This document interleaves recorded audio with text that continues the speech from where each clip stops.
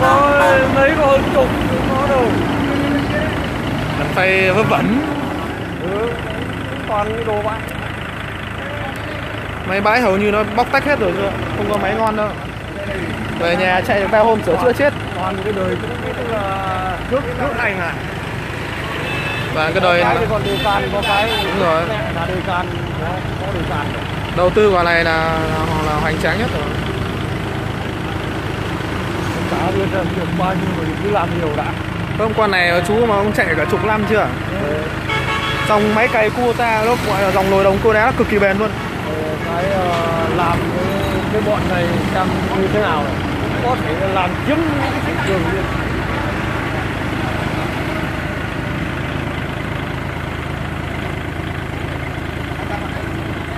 Từ ngày cho bán máy giờ đúng đơn chú lâu nhất ừ, đấy nó trục chặt vậy không có thì nếu mà bên thằng kia nó lấy thì nó khó mà.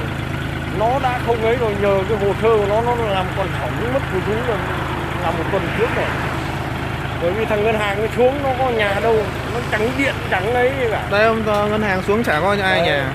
Khổ vậy là tại mình. Chúng về chúng cái điện điện nó bảo là vậy theo bác không mang hồ sơ ra. Đau đầu. Hôm nay ký xong cái về anh em tôi lại đấy. Nói nó giận nó chuồn này không có nó xuống này. À anh Luyến à?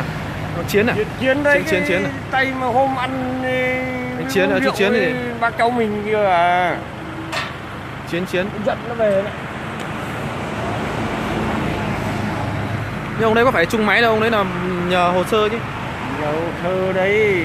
Cái nhục nhà nhục nhặt cái kéo dài này nó khổ Thấy chưa điện thoại nó có đâu. Nó chả biết gì. Chán. Đấy ngân hàng điện cho bên cháu bảo sao xuống nhà không có ai nhà Mà không có nói thì như là người nói dối trẻ con bảo mẹ nói dối làm sao được. Tôi tôi còn làm việc còn đó. Làm việc- điện điện lại. Làm việc người lớn mà hôm nay lấy được có hôm tối hôm qua mà chú mà không điện cho thằng Thái á nay nó chưa gọi thì còn lâu. Có hết tuần này rồi đến tuần sau, hôm qua chú chán lắm.